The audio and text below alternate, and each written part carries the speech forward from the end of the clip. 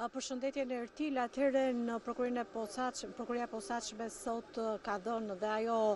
pretendimet e veta në sa i takon kërkesave që kanë bërë të pandehurit një seancë më parë, pra të pandehurit kanë kërkuar shumica e tyre kanë kërkuar që dhe në për incineratorin e Fierit të procedohen me gjykim të shkurtuar, çka do të thotë që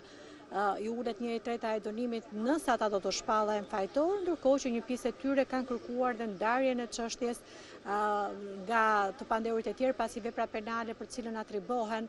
nuk është kompetencë e kësaj gjykate dhe ata nuk janë zyrtarë të lartë, pra bëhet fjalë për Arben Dervishajn dhe dhe dy të pandehur të tjerë, pra që çështja të gjykohet dhe rrjedhimisht t'i kalojë për gjykim gjykatës së Tiranës, por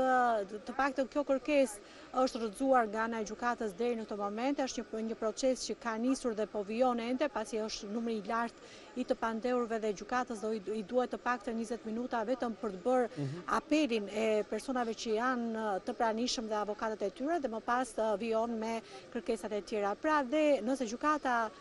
E posaçme, ditën e sotme do të pranojë kërkesën e bërë nga një grup të pandehurish, të cilët kërkojnë gjykim të shkurtuar, atëherë do të kemi dhe një seancë tjetër ku prokurorët do të kërkojnë dhe dënimet për ta dhe më pas do të jetë gjykata që do të japë vendimin përfundimtar pasi të dëgjojë dhe konkluzionet e mbrojtjes, pra e njëjta gjë që siç ndodhi me incineratorin e Elbasanit. Në rast se nuk do të pranohet gjykimi i shkurtuar, atëherë do të kemi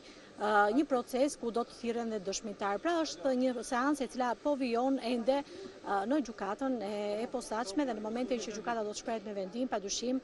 ne do ta informojmë menjëherë.